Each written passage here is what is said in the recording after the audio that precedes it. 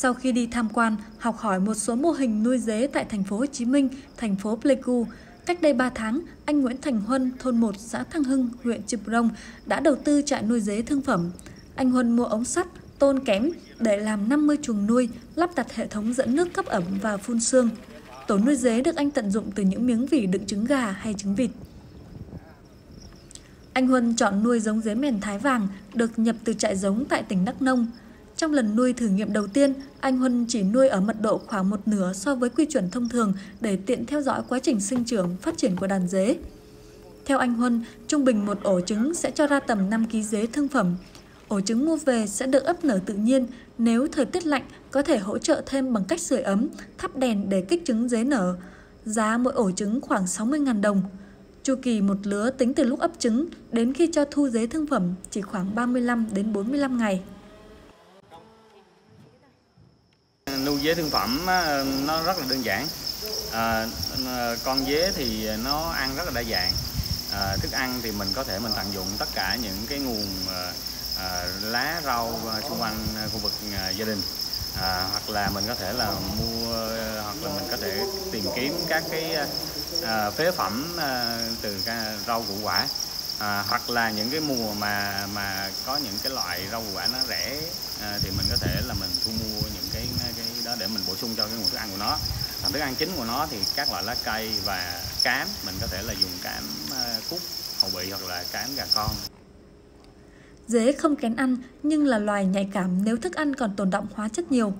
Khi ăn thực phẩm không đảm bảo, dế có thể bị tiêu chảy, ảnh hưởng rất lớn đến quá trình nuôi lớn và thậm chí chết cả chuồng vì bệnh này lây lan rất nhanh chóng trong đàn. Ngoài ra, dế ưa môi trường có độ ẩm cao, nhưng nếu chuồng nuôi không tháo rút nước tốt, ứ động nước sẽ dễ khiến dế bị chết.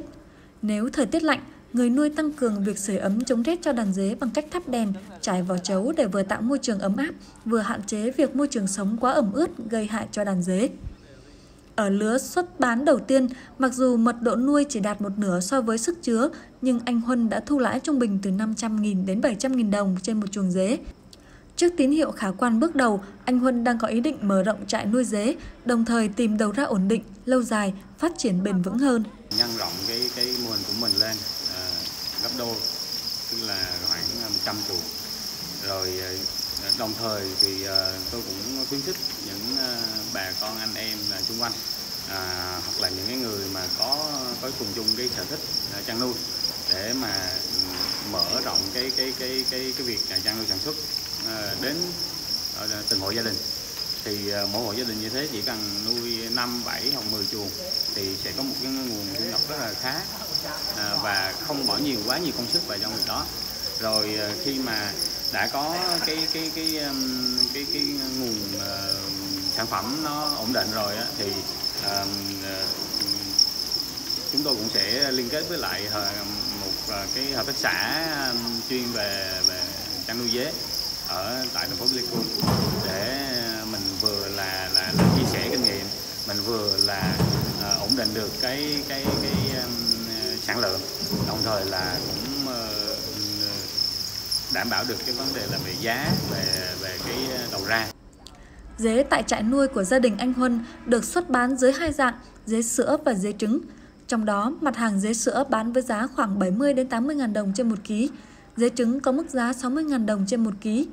Ngoài ra, anh Huân cũng bắt đầu thu hoạch trứng dế, vừa phục vụ nhu cầu nuôi tái đàn, vừa bán cho các hộ dân có nhu cầu nuôi dế thương phẩm. Học tập mô hình của anh Huân, một số hộ dân ở xã Thăng Hưng cũng bắt đầu phát triển nuôi dế với quy mô nhỏ lẻ. Thì qua cái à, mô hình dế bước đầu thì thấy cái cái việc mà nuôi dế cái đầu tư ban đầu nó là cái chi phí rất là thấp. Và cái dế là nó ăn các cái loại cây à, cỏ trên à, tự nhiên trong cái cái quốc xã trong địa bàn của xã thì đây là cái nguồn thức ăn tự nhiên. Nó dễ tìm tòi dễ có hơn. À, tuy nhiên là cái qua cái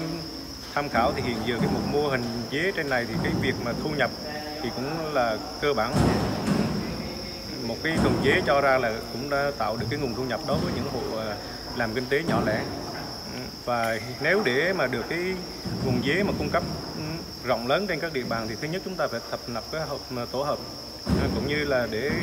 liên kết với một số đơn vị hợp tác xã khác để chúng ta làm sao mà cái đầu dế ra cho bà con ổn định. Nếu như cái mô hình dế ở xã Thanh Hưng mà phát triển